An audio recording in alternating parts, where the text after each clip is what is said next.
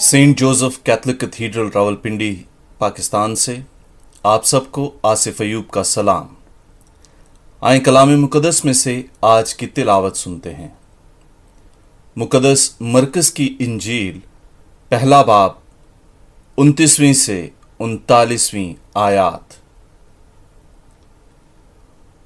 और वो फ़ौरन इबादत खाने से निकलकर याकूब और योहन्ना के साथ शमाउन और इंद्रियास के घर आए, और शमाउन की सास तब से पड़ी थी, और उन्होंने फ़ौरन उसकी खबर उसे दी। उसने पास जाकर और उसका हाथ पकड़कर उसे उठाया, और उसकी तप उसी दम उतर गई, और वो उनकी खिदमत करने लगी। शाम को जब सूरज डूब गया तो लोग सब बीमारों और आसेब जदों को उसके पास लाए और सारा शहर दरवाजे पर जमा हो गया। उसने बुतेरों को शिफा बख्शी, जो तरह तरह की बीमारियों में मुबतला थे, और बहुत सी बदरूहों को निकाला और बदरूहों को बोलने ना दिया, इसलिए कि वो उसे पहचानती थीं। और अली अल सबा, पो फटने से पहले वो उठकर निकला और एक वीरान जगह में गया और वहाँ दुआ की। और शमाउन और उसके साथी उसके पीछे गए। जब उन्होंने उसे पाया तो कहा कि तुझे सब ढूंढ रहे हैं। और उसने उनसे कहा आओ, हम और कहीं आसपास के शहरों में चलें, ताकि मैं वहाँ भी मुनादी करूँ, क्योंकि मैं इसीलिए आया हूँ। और वो तमाम जलील में, उनके इबादत खानों में जा जाकर मुनादी करता और बदरूहों को निकालता रहा। इंजील मुकदस के वसीले से हम सब की खताएँ मुआफ की जाएँ। ए मसीह, तेरी सिताइश हो। आमीन। आज चार जनवरी, पाँचवें हफ़्ते का लतूरियाई साल के पाँचवें ऑर्डनरी हफ़्ते, हफ़्ता, इतवार। आज की पहली तलावत में अयूब नबी आहोजारी कर रहा है, दुख और तकलीफ़ में है। और कहता है कि दिन भी बहुत लंबा हो गया है और रात भी कटती नहीं है, दुख और तकलीफ़ में है। हुआ ऐसा था कि खुदा ने शैतान को बताया कि देख, ज़मीन पर मेरा बंदा अयूब वो किस तरह से मेरे साथ वफादार है और मुझ पर इतमाद रखता है, ईमान रखता है।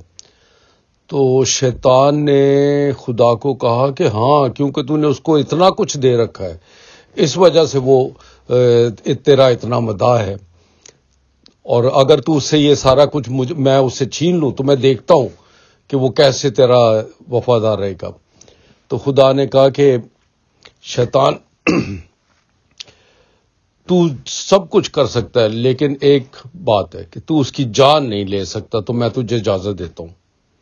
और फिर शैतान ने अयूब को इतना सताया, इतना उसके सारे मवेशी, डंगर, जानवर, बच्चे, बीवियाँ, सारे ख़त्म हो गए, उसकी सारी दौलत ख़त्म होगी वो खुद बीमार हो गया और उसके जिसम में कीड़े पड़ने शुरू हो गए। तो उस दुख की हालत में वो कहता है कि मेरी रातें लंबी हैं, मेरे दिन लंबे हैं। मेरे अज़ीज़ भाई और बहनों, जब हमारी ज़िंदगी में कोई दुख होता है, तकलीफ़ होती है तो वक्त कटता ही नहीं है। और दिन भी लंबे हो जाते हैं, रातें भी लंबी हो जाती हैं। इसी तरह आज अयूब के साथ भी ऐसा ही है। और ये वो मिसाल है हम सब के लिए जो हम दुख, दर्द, बीमारी के दौर से गुजरते हैं कि उसमें भी हमें मज़बूत रहना है। खुदा की रस्सी को थामे रखना है। आज की अंजी, आज की जो दूसरी तलावत है क्रांतियों के नाम खत मुकदस पलूस कहते हैं कि मैं खुदा की खुशखबरी अंजील को दूसरों तक पहुंचाता हूँ तो इसमें मेरा कोई गरूर नहीं है बल्कि ये खुदा ने मुझे खुदा के पाकरू ने मुझे ये शरफ बख्शा है और मुझ, मुझे इस बात के लिए उसने कहा है हुक्म दिया है कि मैं पाक कलाम सुनाऊं मैं अंजील सुनाऊं, मैं खुशखबरी सुनाऊं। आज की अंजील मुकद्दस में खुदावंद यसु मसीह बहुत सारे लोगों को शफा और तंदरुस्ती देते हैं और वो पतरस के घर में हैं तो वहाँ पर उसकी सास को ताप है, बीमार है, फीवर है, बुखार है। तो शागिर्द कहते हैं यस्सु को बताते हैं कि पतरस की जो सास है वो बीमार है। तो खुदावंद यसु मसीह उसका, उसके बिस्तर पे जाते हैं, उसका हाथ उठाकर कहते हैं कि उठ जा। और फिर वो तंदुरुस्त होकर खुदावंद यसु मसीह की खिदमत करती है। बहुत सारे लोग जो हैं, वो अपने बीमारों को लेकर आते हैं और यसू उन सबको शफा देते हैं और यहाँ तक जो बदरूहें हैं, उनको बोलने भी नहीं देते क्योंकि वो बदरूहें जानती थी कि ये खुदा का बेटा है। तो ये सारे मुआजात के बाद खुदावंद यसु मसीह सुबह, अलल सुबह, अभी दिन निकला नहीं था कि खुदावंद यसु मसीह दुआ करने के लिए चले जाते हैं ऐसी जगह पर जहाँ पर और कोई नहीं है। और खुदावंद यसु मसीह के शागिर्द आते हैं और आके कहते हैं कि बहुत सारे लोग तेरा इंतज़ार कर रहे हैं। और यसु कहते हैं कि हमें जारी रखना चाहिए। खुशखबरी देने का जो अमल है, इसको हमें सिर्फ़ एक जगह पे महदूद नहीं रखना, बल्कि हर जगह पर इस, इसको जाकर खुशखबरी को फैलाना है। मेरे अज़ीज़ भाई और बहनों, आज की इन तलावतों से आपको और मुझे क्या दर्स मिलता है? सबसे पहली बात कि हमारी ज़िंदगी में ना तो खुदा इतने ज़्यादा दुख देता है कि हम सह ही ना सकें और और नाउमीद हो जाए। और वो हमारी ज़िंदगी में इतनी ज़्यादा खुशियाँ भी नहीं देता। कि हम बिल्कुल खुदा को भूल जाए, मगरूर ही हो जाए। हम्म? दुख और सुख में खुदा हमारे साथ है। अयूब के साथ सुख में भी था, दुख में भी है। और अयूब जो है, वो अपने ईमान से हटा नहीं है। बड़ी उसके साथ शैतान ने ज्यादतियाँ कर दी, बड़ी उसके साथ बीमारी और उसका सारा नुकसान किया, लेकिन अयूब अपने ईमान में मज़बूत रहा। अयूब ने कहा कि जिसने दिया, उसी ने लिया। उसी का नाम मुबारक हो। फिर वही मुबारक नाम जो है, वो जब शैतान को शिकस्त हो जाती है तो उससे बढ़कर डबल अयूब को मिलेगा और खुदा ने दिया। तो आइए हम भी अपने जो बुरे दिन है परेशानियाँ दुख तकलीफ़ बीमारी है उन दिनों में घबराना चाहे। बल्कि अयूब की तरह सब्र करें दिन प, प, पलटेंगे हमारे दिन बदलेंगे। जहाँ खुशी नहीं रहती हाँ, वहाँ गम भी नहीं रहता। खुशी और गम ये हम हमारी ज़िंदगी का हिस्सा है और इस हिस्से में हमें खुदा से मायूस नहीं होना चाहिए उस पर पूरा इतकाद रखना चाहिए। दूसरी बात आज की जो दूसरी तलावत है उसमें ए, हम सब मिस्टरी हैं। हम बुलाए गए हैं कि खुदा की बादशाही का प्रचार करें। तो सबसे पहले तो यह है कि जो हमारा खानदान है ये सबसे पहला जो है ये कलीसिया है। इसको हम कहते हैं घरेलू कलीसिया कि घर की कलीसिया जिसमें माँ बाप का ये फ़र्ज़ बनता है कि वो अपने बच्चों के लिए मिशनरी बने, उन्हें खुदा के करीब लाए।